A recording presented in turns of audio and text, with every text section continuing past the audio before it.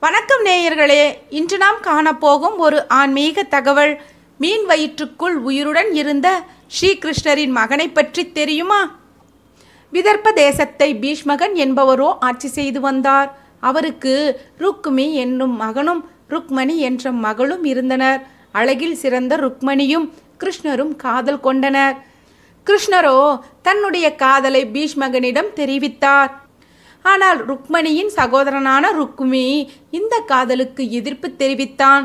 தன்னுடைய தங்கையை சிசுபாலன் என்பவனுக்குத்தான் மனமுடித்து வைக்கும்படி தந்தையிடம் வற்புறுத்தி சம்மதமும் வாங்கிவிட்டான். எல்லா நாட்டிற்கும் மனவோலையோ அனுப்பப்பட்டது.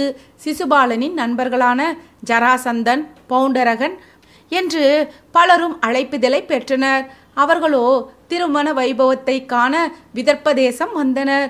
கிருஷ்ணருக்கும் அழைப்புதலோ அனுப்பப்பட்டது. கிருஷ்ணரும் பலராமரும் மற்றும் யாதவர்கள் புடைசூழ விதர்ப்பதேசம் புறப்பட்டு வந்தனர்.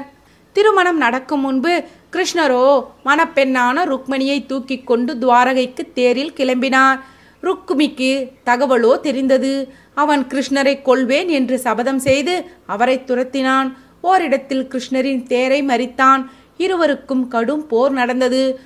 ருக்குமியை கிருஷ்ணரோ வீழ்த்தினார். பின்னர் ருக்மணியோடு துவாரகைக்கு சென்றடைந்தார். ருக்மணி கிருஷ்ணர் கல்யாணமோ விமர்சையாக நடந்தது.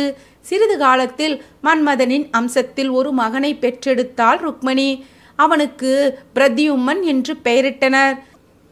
தன்னை கொள்வதற்காக துவாரகையில் பிறந்த ருக்மணியின் பிள்ளையை பற்றி கேள்விப்பட்டான் சம்பாசுரன் என்ற அசுரன். மாய வடிவில் யாருமே அறியாமல் துவாரகைக்குள் சென்றான். பிறந்து ஆறே நாளான சிசுவை தூக்கி வந்து கடலில் எரிந்துவிட்டு ஓடிவிட்டான் சம்பாசுரன் என்ற அசுரன். கடலில் கிடந்த பிரத்யுமனை மீனொன்றோ விழுங்கிவிட்டது. கடலில் செம்படவர்கள் மீன் பிடித்து கொண்டிருந்த பொழுது குழந்தையை விழுங்கிய மீனும் வலையில் சிக்கியது.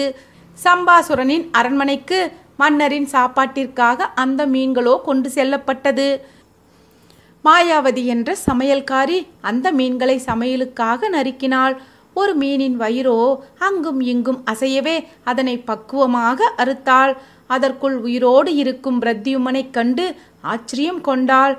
மீன் வயிற்றில் இருந்த குழந்தையைக் கண்ட குழப்பத்தில் இருந்த மாயாவதியின் முன்பு தோன்றினார் நாரத மகரிஷி.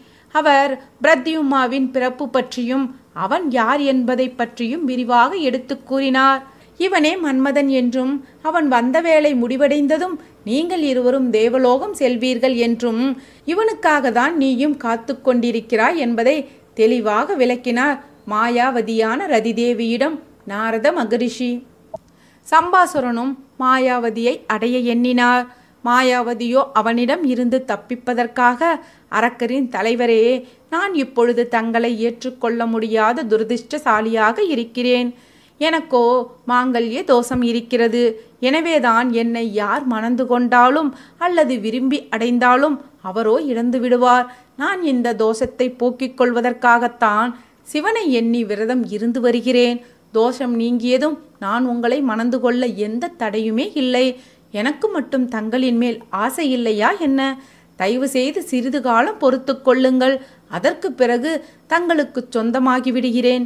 என்று பொய்யை சொல்லி சம்பாசுரனை ஏமாற்றி வந்தாள் மாயாவதி. சம்பாசுரனும் அவளை தொட்டால் உயிர் போய்விடும் என்ற பயத்தால் மாயாவதியின் விரதம் முடிவதற்காக வருடக்கணக்கில் காத்து கொண்டிருந்தான்.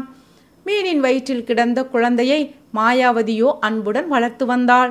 ஒரு முறை நாரதரோ சம்பாசுரனை சந்திக்க வந்தபோது மாயாவதியை பார்த்து குழந்தையை பத்திரமாக வளர்த்துவா இவன் வளர்ந்து வாலிபன் ஆனதும் இவனை கொண்டுதான் சம்பாசுரனை அழித்து விடலாம் என்று கூறினார். அதுபோலவே மாயாவதியும் பிரத்தியும்மனை அறிவிலும் போரிலும் வல்லவனாக வளர்த்து மாயக்கலைகளை சொல்லிக் கொடுத்து வலிமையுள்ளவனாக ஆக்கினாள். பிரத்தியும்மனோ வாலிபனானான். மாயாவதிதான் தன்னுடைய மனைவி என்பதை அவளிடம் இருந்தே அறிந்து கொண்டான். இந்த சமயத்தில் சம்பாசுரனும் உண்மையை அறிந்து கொண்டான். இதனை அவனுக்குச் சொன்னவரும் நாரதரே. அதனால் தன்னை பெற்றோரிடம் இருந்து பிரித்த சம்பாசுரனை போர் செய்து கொன்றான் பிரதியும்மன். வெற்றியுடனும் திரும்பினான் பிரதியும்மன்.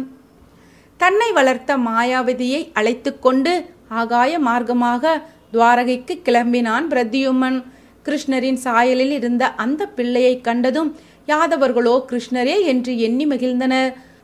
ருக்மணிக்கோ அவனை கண்டதும் தாய்மை உணர்வு பொங்கியது. நாரதரும் கிருஷ்ணரை அழைத்து கொண்டு துவாரகை வந்து சேர்ந்தார்.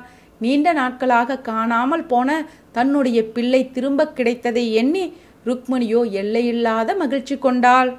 என்ன நேயர்களே இப்பொழுது அறிந்து கொண்டீர்களா? மீன் வயிற்றுக்குள் உயிருடன் இருந்த கிருஷ்ணரின் மகன் பிரத்யும்மனை பற்றி. மேலும் இது போன்ற சில சுவாரஸ்யமான ஆன்மீக தகவல்களுக்கு எங்களோட சேனலை சப்ஸ்கிரைப் பண்ணுங்கள் பிடிச்சிருந்தா லைக் பண்ணுங்கள் ரொம்ப பிடிச்சிருந்தா ஷேர் பண்ணுங்கள் உங்களோட கமெண்ட்ஸை எங்களுக்கு மறக்காமல் போஸ்ட் பண்ணுங்கள் நன்றி நேயர்களே.